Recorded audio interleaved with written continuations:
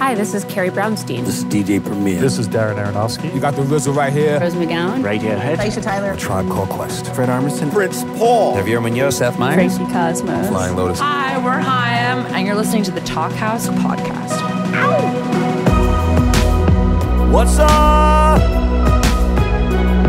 I'm Elia Einhorn. Welcome back to the Talkhouse podcast. Today I'm joined by Annie Fell, Associate Editor. and we have a very rad conversation for you. Mac DeMarco speaking with Neil and Liam Finn. This is a father son combo. Now, Liam and Neil just dropped their collaboration LP, Lightsleeper, so they sat down with Mac for, quote, a good old chin wag. Listeners, I first heard of Liam Finn when I was gifted a CD. If you can remember those, parenthetically, I hear they're making a comeback. Back in 07, that was his first solo outing, I'll Be Lightning, and it was a great sounding record. He's released a couple more since, and I've been following his career. Admittedly, I had no idea back then that Liam's dad was none other than New Zealand's multi, multi, multi, multi, multi platinum selling singer songwriter, Neil Finn. I, I think he and maybe Lorde are the country's most famous exports. As co frontman of Split Enz and then leader of the chart topping Crowded House, you remember the song Don't Dream It's Over? He's sold millions of records. And just recently, Neil was even welcomed as the newest member of Fleetwood Mac. Can you imagine what was going through his mind when he got that call? No, not at all. It's such an iconic gig. Amazing. Now, Neil's collaborated with family from the very beginning. He worked with his brother Tim Finn in Split Enz, and in Crowded House, he brought in Tim as well as Liam and other family members. Right. So it's only fitting that he and Liam decided to make a record together. And on Lightsleeper, which was recorded partly in LA, but mostly in Neil's Auckland studio, a bunch of family features. So there's Sharon Finn, who's Neil's wife and Liam's mom. She plays bass on a couple songs. Elroy Finn, who's Liam's brother, who drums on most of the record. But it's not just a family affair. The songwriter and producer Connan Mockasin, also from New Zealand, guests on the record, as does Mick Fleetwood himself. Let's check out the song Back to Life. Joe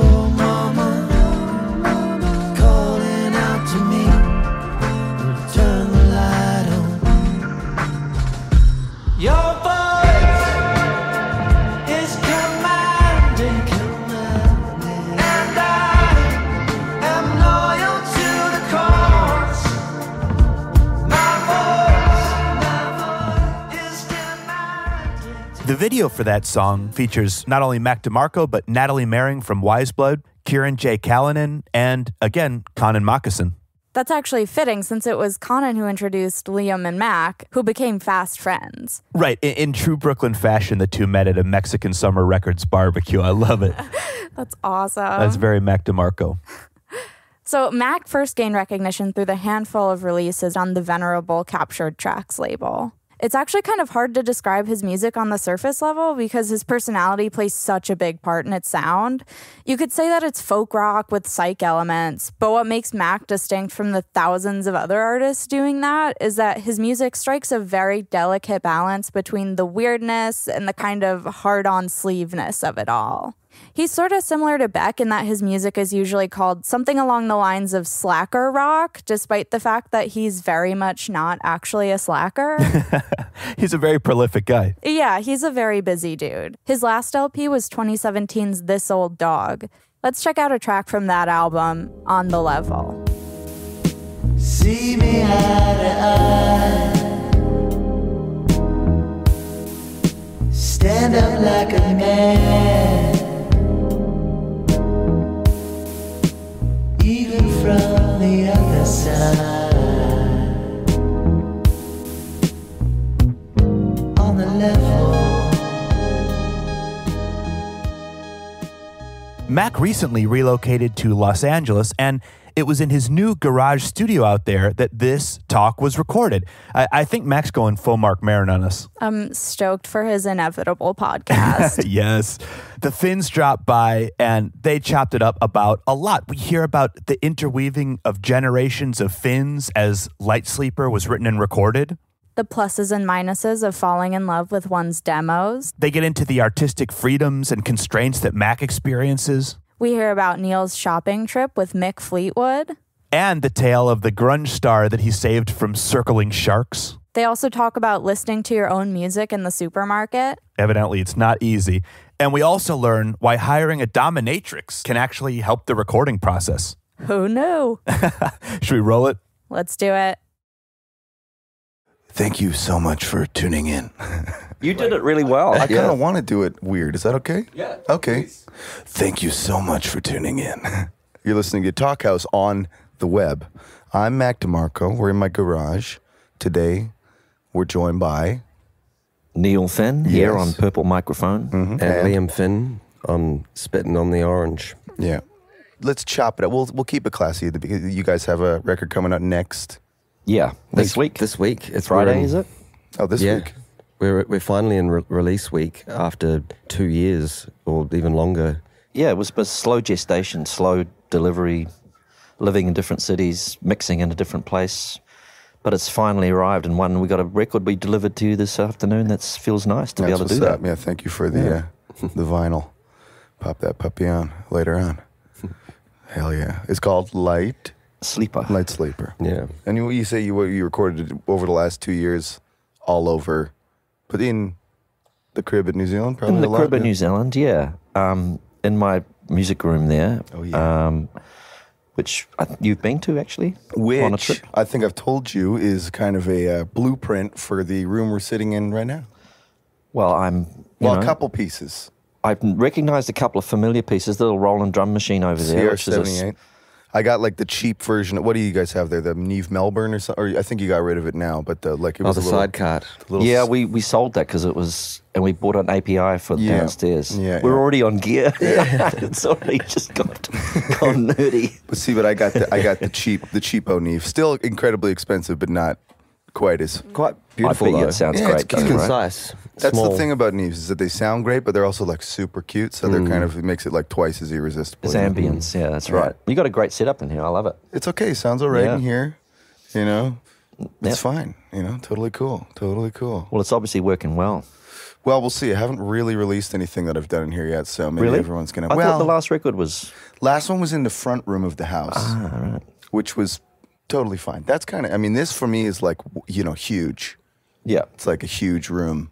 It's comfortable. Uh, it's yeah. Yeah. I think I like it better when it's like so jammed in that. uh Well, I saw your room years ago In in, New New York. York. That was yeah. Yeah. It was. That you was- couldn't be more jammed in. Yeah, but I liked that though. Yeah. You know, full, fully, and then a bed on the top. Yeah, yeah. Yeah. That's Oh, the room in Auckland is great, and Yeah, it's and you would relate to this, but there's nothing more beautiful to me than a room that's ready to go the minute you walk into it. Oh, yeah. rather than having to plug shit in. No, and, I hate that. You that. Know, so once you do get it into that sweet spot where it's all working, and as it was when we were doing our sort of jamming to get this whole thing going, you can really get a lot done. And Yeah. you listen back to it, even if it sounds a bit vague at the time. Listen back to it a few days later, and you think, yeah, actually, there's something there. Yeah, it's tight. It's Yeah. Hit That room has The room's some humming. quality about it as well that we've both made a lot of music in there over the years. So Mm. doing it together was it felt effortless to get comfy and we very quickly started making pretty pretty sultry lounge kind of Mm-hmm, like we didn't know what we were going to make at all, but it came out very relaxed, Mm. sounding very cinematic and that it got us quite excited. So we just Is this the first time you that guys were like, let's make a record, like a full blown record together? Yeah. Well, Yeah. obviously, I We- mean, you played both been playing on each other's stuff for a long time now. Yeah. How long you guys known each other, by the way? well coming up 35. That- yeah. 35 Nice. years. Nice. I mean, I was singing into Sharon's belly, so maybe it's 36 really. Yeah. so you've known me anyway. You've heard my voice. Yeah. It was kind of weird veiled relationship. You didn't know Yeah. what I looked like. Well, I used to sing the same song. Then somebody had told me there was a good theory when you have a kid that if you sing the same song into your partner's belly while they're growing in there, that that song becomes quite um, useful for getting them to sleep when they're born, and it worked perfectly for us. What was the song? It was a split end song called "Devil You Know," which is actually quite a strange. the devil you know. Stab, stab, stabby. There's something, yeah, something slightly odd about it now. I think still about it, puts, but it still makes me sleepy. That Does it? song, yeah, it's a beautiful song. it's kind of boring song. Nothing wrong with boring music, all right? if it puts you to sleep, hey, that's a blessing. It's better than a pill. Yeah, there you go. Has Buddy got one? Guess Uh, well, I was, we were trying to make it um, the Bangles' "Eternal Flame." I sang that into the belly yeah. every Oh, right. Then when he came out, he was like, "Stop with that song." oh God, already.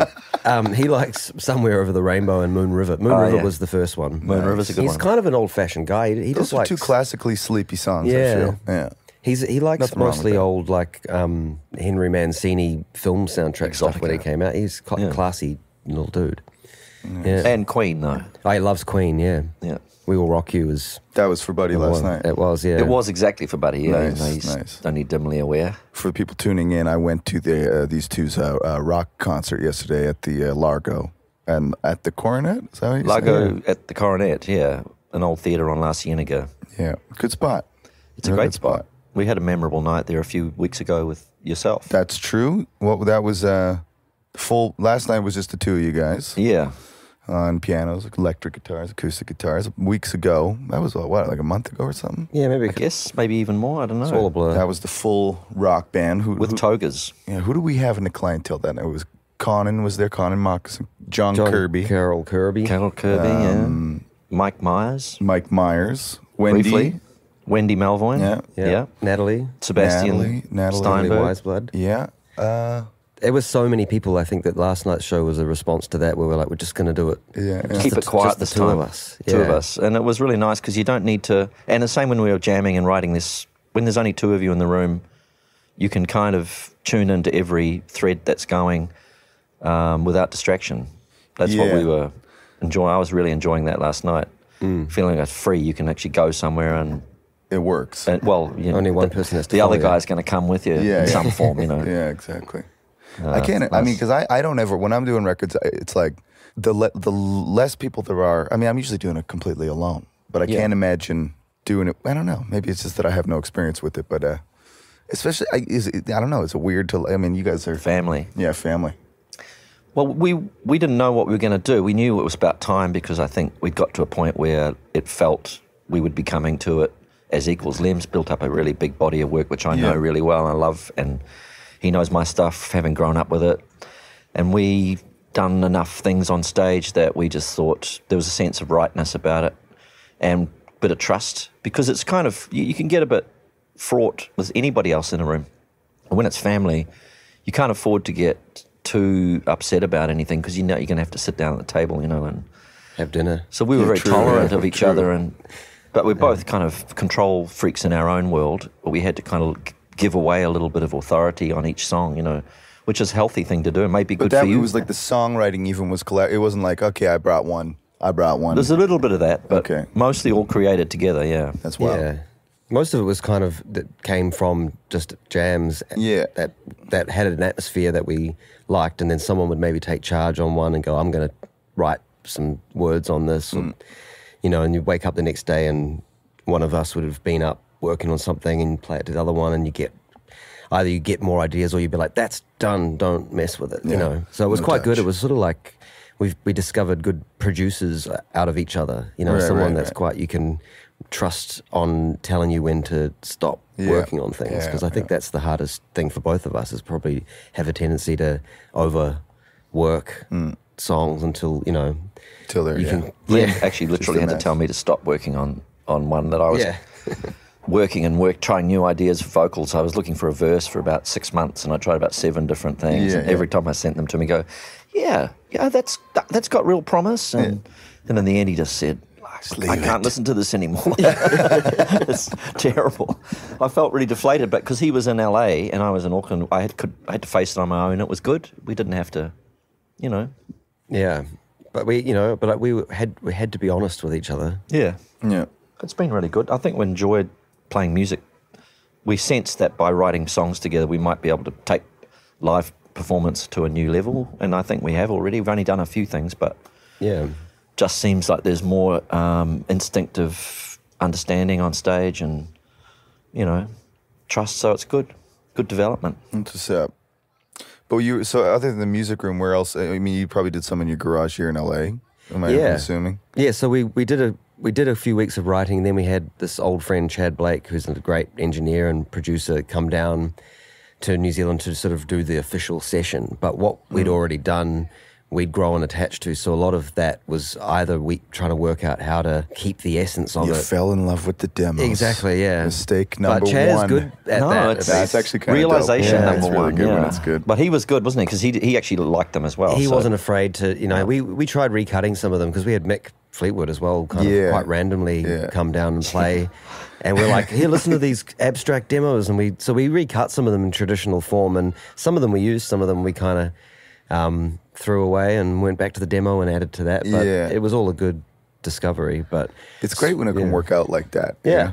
I always try and make my demos so bad sounding that I have to redo them. But even Yeah. in that circumstance, sometimes I'll do the proper, you know, in my proper Yeah. in my terms, it still sounds like crap, but uh, but do the like real recording of it and be like, man, I just like the demo more, and then I'm screwed. You know. Well- but that's why I put out demo albums with every record. the, the moment of creation is, is a quite It's a the powerful sweetest thing. part. Yeah. Yeah, it is. You're jacked about it. You're like, oh my god, Yeah. how did I do this? And you want to listen to it yourself, which Yeah. is a good sign, I think. Yeah. You know? Well, I think you're trying to sell the idea to yourself a bit too. So The way you lean into performing that first really good take is kind of convince you know, but making yourself believe, and Yeah, that's there's something yeah. in the sound of that that's really appealing. I think. yeah, the flavor. Yeah.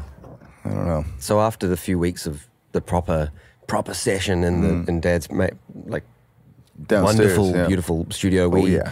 took took it away. I went back to LA, and that was all around the time that Buddy was born, basically. So I kind of tuned out a little bit for the next couple of months, and Dad chipped away on a few things, and then came over to join us around the birth, and that's when we kind of actually finished a lot of it in my Ah, little okay. room. Cool. Kind of just vocals, and and we discovered a few of the pieces of music that we just sort of made from comp- improvising together that we actually really loved, and we turned Yeah. those into things. And so some of the discoveries were actually quite late in the piece, but really.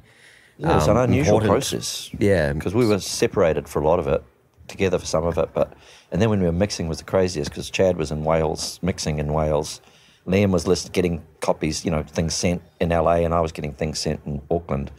A whole day'd go by just to get one vocal lifted up by a tiny bit, you know, like just because we'd have to email and he, you know, he's living so far out in the back blocks in Wales that he can't even download.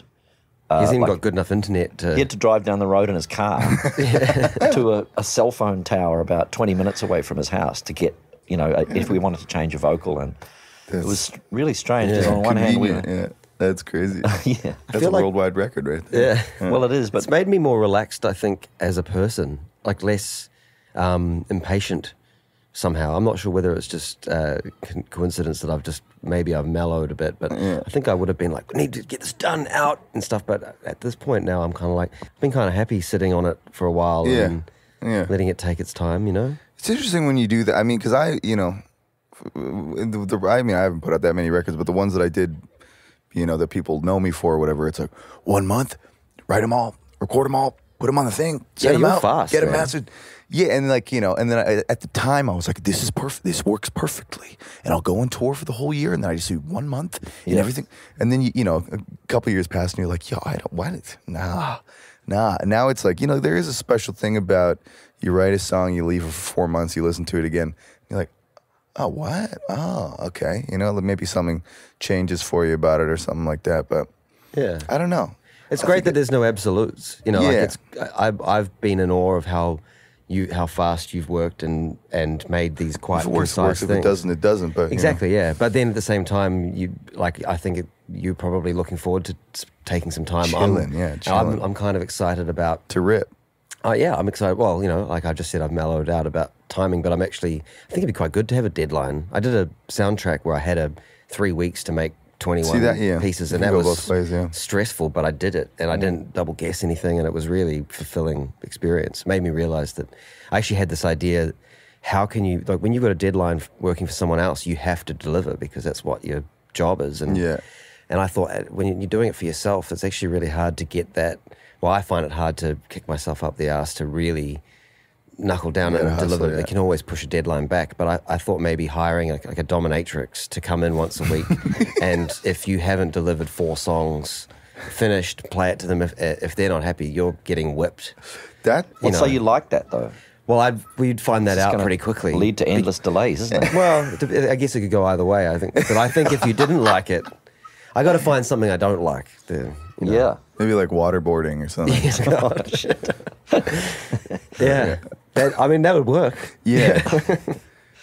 wow. Yeah, that would be. Yeah, that's like a new style of. That'd be kind of. Well, I don't know if it'd be cool, but it would be something. Well, you get a video out of that as well. Yeah. That's I'd the love to big hear part of that that record. video. Yeah. that'd be strange. doing a really mellow record like that.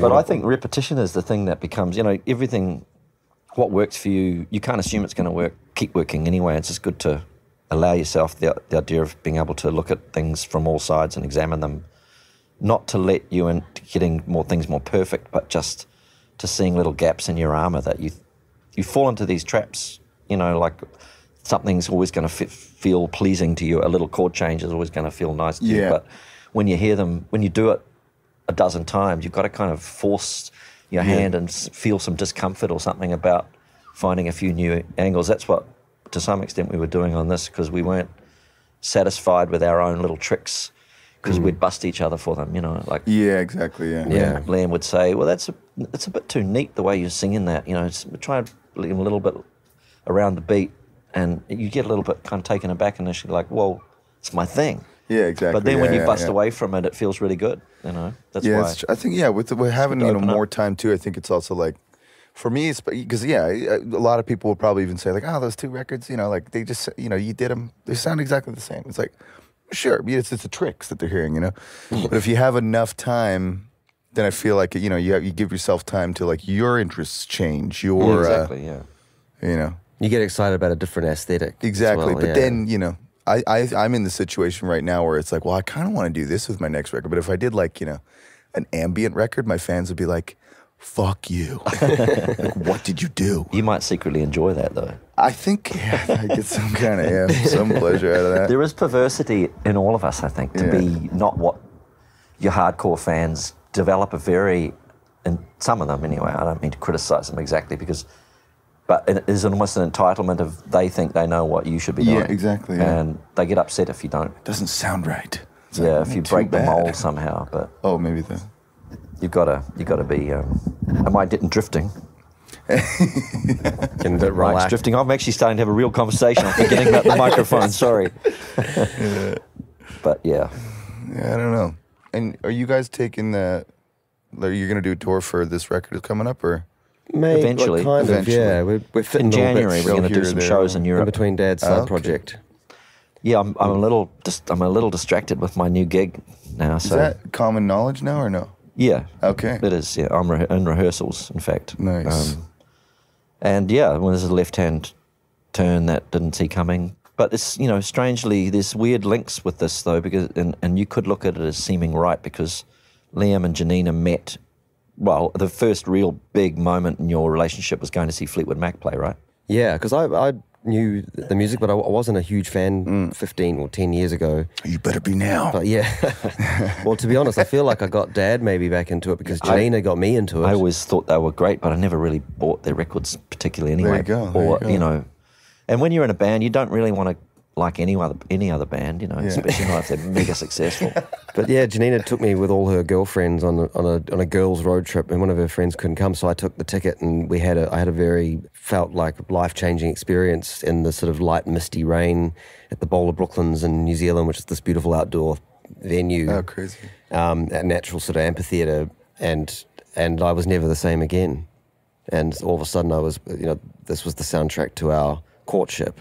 Yeah. And so So- it is quite strange to then all of a sudden we're making this record together, Mick. and as like Mick Fleetwood's going to come and come down and play on this record. That was and- pre the invitation, though. We had no idea that would lead to anything. But No, no, that's what I mean. It's all We're just clicked. Gone He's a really charming. How long have you guy. known Mick for? A long time, or? Uh, well, not really. I mean, we we met years and years ago at a benefit concert in London, and just Okay. struck up a conversation. And he remembered, and that night, you know, remembered that we got on really well, but it was only brief. And then we saw him years later at a New Zealand Music Awards. Strangely enough, because it would be weird that he's at a New Zealand Music Awards. He's there. American though, isn't he? yeah, Right. no, no, he's English. English. No, no, he's okay, never English. Yeah. And the band's been going since 1967 or something. Yeah. It's incredible history they've got. 12 different lineups almost, you know. In the Peter Green era of the band, how they started is known as a blues band, really, and, and, Mm. and it's developed into this pop thing. But anyway, long story short, I went out to dinner with him at the time I saw him recently, and that was a few years ago, and we just had a really enjoyable evening and kept in touch. And when we decided we'd make the record, there's something about creating a sense of occasion. And, and you nothing necessarily is going to work for guarantee, but if we had Chad coming down, which we'd already arranged, um, and he's you know an old friend and a special engineer, and we were going to do it in the prop studio, and we thought, well, how, how should I ask Mick? Mick had said he'd love to play on something at some point because he's he's just a really avid musician. He just likes to play. He wants to mm. be active and He's got know, a good pocket, that guy. he's a good guy to have in your Yeah. in your little address book. That's what's up. But he I rang him up just randomly, He said, Would you want to come down for 10 days and play some music? And he said, Sure. And yeah, there he was, That's what's up. telling stories. Yeah, very, very high caliber of story. Yeah, I can Yeah. imagine probably like the craziest shit you've ever heard. in your life. Yeah. And he's very photogenic. Like, it's really something sickening about a guy who's now about 10 years older than me. And you get all the photos from the session, and he looks like a million bucks every photo. And I'm looking all ragged and hot. Come on. No, well, he's got a he's he's a stylish dresser. You know, like he puts a lot of effort into it, and he, he really. Uh, He took me shopping a little while ago in. LA. You know, I've never spent so much money as I did in one go, but he was fantastic. to go shopping. go with. and He said, "Yes, I think you should down, try yeah." the size under that. It's just a little bit uh, broad. Yeah, that's better. It's got the good line. You know, he's really great. He's- it's not really my thing. I don't normally go No, shopping I've, at all. I've never seen you come home from shopping in a good mood. I was euphoric. I'm the same way, yeah. Yeah, I hate gotta shopping. find somebody like Mick. That sounds pretty good, actually. I'm sure He should be, do little, he should do shopping that you. That'd be a good TV out show, with Mac. shopping Shopping with Mick, expeditions yeah. with Mick. It would be a Mac great and Mick. Oh my god. That's a great idea. I'll have to put that to him. He'd probably be up for it. Oh my god. you like shopping? No, no, I No, don't. no. No, I don't. I don't know who does like it. I But can't I- stand it. Mick Fleetwood loves it. Yeah. I gotta I guess, yeah. Yeah. Even groceries. I ca- any any variety of. See, I don't mind that. I'm kind of into going to the supermarket. I hate the supermarket. Really? Yeah. I hate it. I don't know if you've had the experience of going to the supermarket and hearing your own music at the supermarket. But it happens Some, to me. yeah. I, well, yeah, I can. Yeah. It happens to me quite a lot. If New I go to the like the maybe like like the hip groceries, like you know, like the hipster, like maybe Lassen's or something, 365 or something. or like the the uh, Trader Joe's. Three six five play. have a, three six five would know, be it. Yeah. Have Yeah. the. Uh, I don't know where, where they're getting it from, but it's definitely a pretty cool Well, playlist. it would be in, in Silver Lake. It's bound to be. In yeah. And you get the the cashier that's kind of like, hi.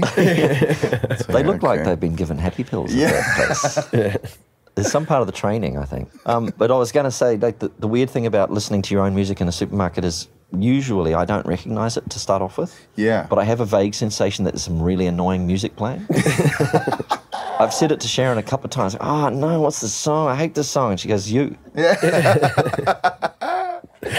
I a always true story. Just because the band, like when we play live, we sound so drastically different than the, my records. Yeah. So I forget what the records sound like, and I'll hear it sometimes and be like, "What the?" It's like kind of jarring to be like, "Oh, we, Mm. we've been playing this like 30 BPM faster than I wrote it for like five years." Like, all right, cool, but you know, Every now and again, it sounds better.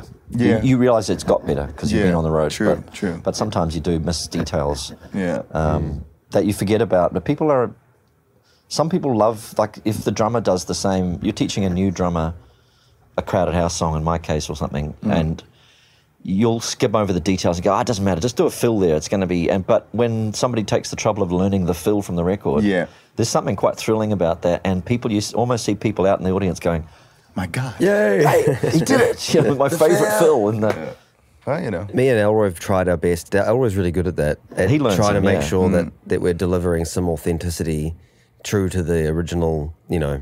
Because I think we've seen so many incarnations of these songs of Yeah, people totally. playing that, you know. Yeah, it's it's, It's funny harder. when you're teaching It's people your own it. songs for the tenth time. It's really grueling, and also especially because when back in the day, Mitchell Froom, who I worked with as a producer, encouraged me to start thinking about chopping songs up with bars missing and a few beats missing here to keep the song moving forward, so it's not totally symmetrical. You know, right? uh, and it was cool and it made sense. Like, for instance, in the song "Don't Dream It's Over," there's there's a little half a bar before the middle eight, and there's a half a bar before the ending, and and it sounds great and it's totally natural to me. But whenever you're teaching people the first time, it throws right. them off Right, right, right, right, right, right, right. base. And yeah, anyway, That's crazy. Something something to be said for symmetry in terms of being able to teach people. Rock But I like yeah, my half get a, bars. you just need a musical director now that teaches you new bands the stuff before you even come in. Do you And divide the- things up into even amounts in terms of verses and choruses and shit like that? Do you, um, do you think about that much? I always have like some recipe. It used to be like, yeah, it would be like verse, chorus, verse, chorus, and then like uh, there was a point in time where I was like, man, guitar solo. Like 'cause when I was a teenager, I was like, I would never put a guitar solo in my. mu-" And then all of a sudden, I was like, I'm gonna put a guitar solo in every single song, and they're all gonna be like pretty funny. So it was that, and now I don't know. The, the more I go, it's it's always like very, even with my lyrics, it's like I'll usually try and have the same structure and almost Yeah. the same, you know, like lead in with the lines and stuff. But uh, the more I go, the- I just want to strip it back. It's like, oh, you know, the, the chords are gonna be the same the whole song, and if somebody's got a problem with that, like, go fuck yourself. well, I you know? think that was what was the nice thing about your last record is that you were you were obviously in a reduce mode. I think that's really good. Yeah, just keep because the tendency is to over is to become more complex. So I think it's good to fight against that. I can't. I don't know. Yeah, it's it's. Yeah, sometimes. If Having I said could, that, our record's quite complex, isn't it? Really. It is, but there's a few things. uh, Not all. Picking a theme, I used to overcomplicate it.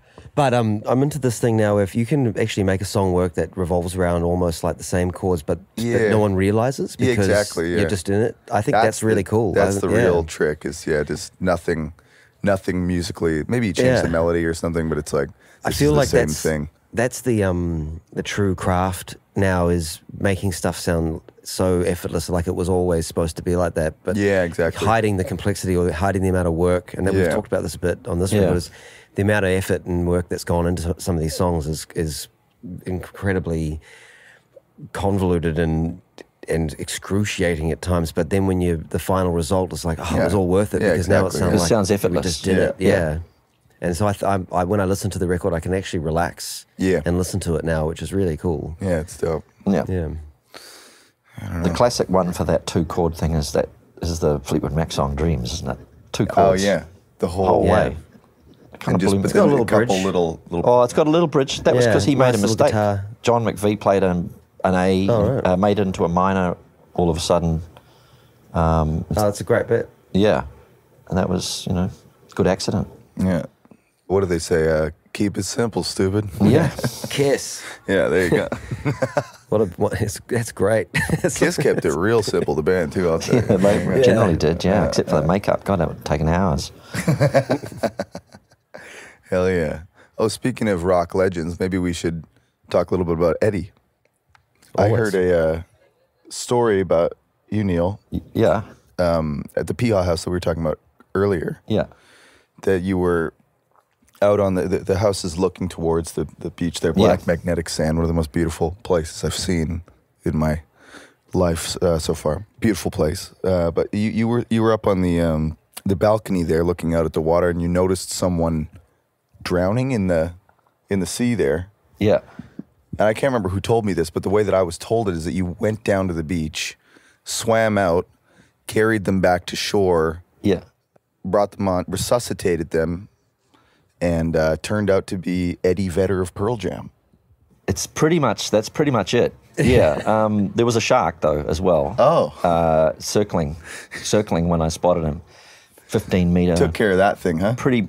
I had to go and deal to it. Yeah, Yeah, He's straight in the Well, eyes. they That's the thing about They sharks. fear dead. Sharks know this guy. Yeah, and uh, He's got the prong trick. oh, here he comes. They just actually they scarpered the minute I got in the water. Really, my they smelt me, Yeah. and uh, yeah, and I you know dragged him in. I gave him a lecture about not going swimming on his own in the rip. Yeah, yeah. and Eddie was you know he was grateful. Showed him a couple of things on his on the surfboard. Right, right. Yeah, I don't think he surfed before. He wasn't surfer before that. And uh, sent him on his way. Yeah. Then we ended up going to the show. It's great.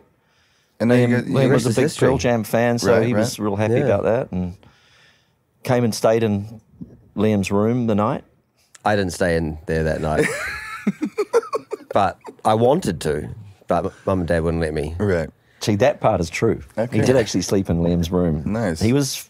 I woke What him up in the morning with some it's all true? Vegemite Well, toast. I don't want to spoil the mythology. That's a great mythology. It's amazing. Chinese whispers. Yeah. there was Chinese a rescue involved. I'll, I'll, I'll give you that. And he did get into. He got in trouble in the undertow, and he got rescued by the surf it's, lifesavers. it's ripping out there. It's ripping, yeah.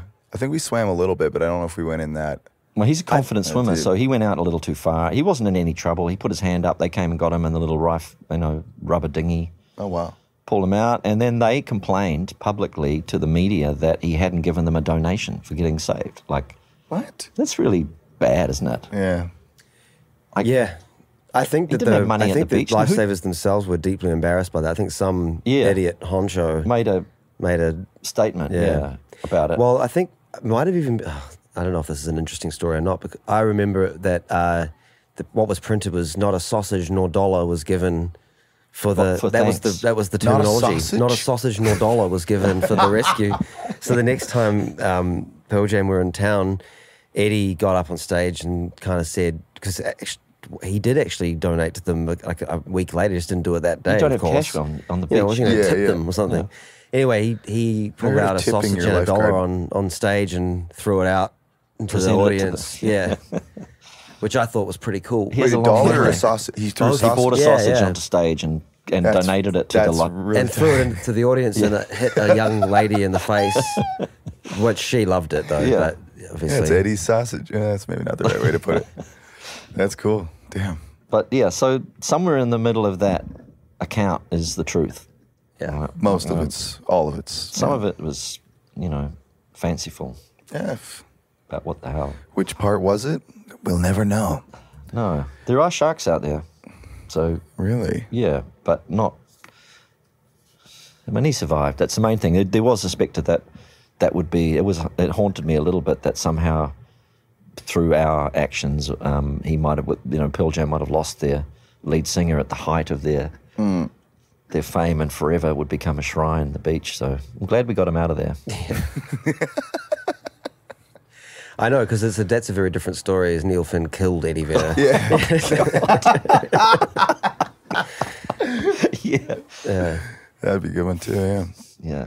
So, uh, Lightsleeper comes out Friday, which is what the twenty fourth. Yeah. Twenty fourth of August. That's it. 24 is one of my favorite numbers, so that's that's got to be a good sign. Yeah. Um, if if everyone listening doesn't go out and buy it, I'm gonna hunt you down, and I'm gonna end you. so yeah, check it out. Beautiful record, uh, beautiful people, beautiful family. God bless you. Thank you, Mac. My pleasure. Thanks it's been a thanks for coming delight to be in your your space and uh, having a good good old chin wag with you. Mm-hmm. Thank you. No worries. Peace. Peace and love. Ciao.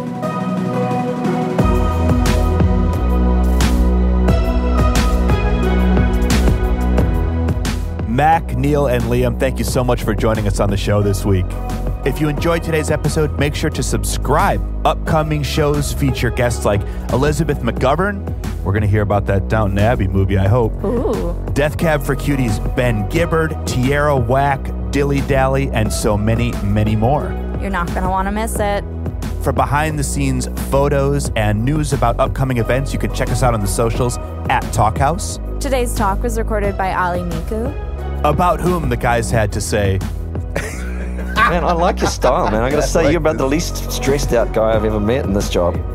This episode was produced by Mark Yoshizumi. and our theme song is composed and performed by The Range. Till next week, I'm Elia Einhorn. I'm Annie Fowl. Peace. Bye.